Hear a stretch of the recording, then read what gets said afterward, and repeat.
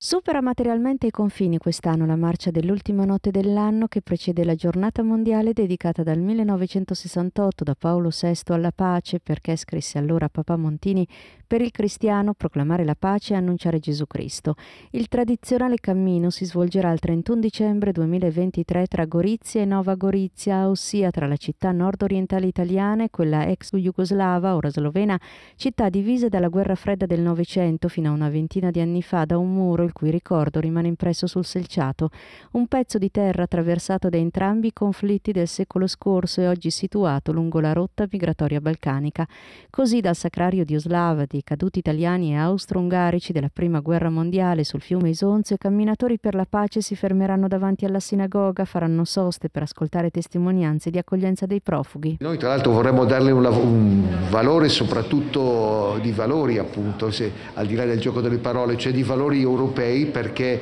se c'è questa possibilità di lavorare insieme anche tra le due città è una possibilità che è offerta proprio perché si è cercato di fondare questa amicizia sulla pace, sulla riconciliazione. Tra i temi di riflessione anche il rapporto e il dialogo con le intelligenze artificiali al quale è dedicato il messaggio di Papa Francesco per la giornata per la pace del 1 gennaio 2024. La marcia sarà preceduta dal convegno di Pax Christi sulla possibilità di istituire nella città bipolare di Gorizia e Nova Gorizia la sede europea per l'addestramento dei giovani volontari dei corpi civili di pace.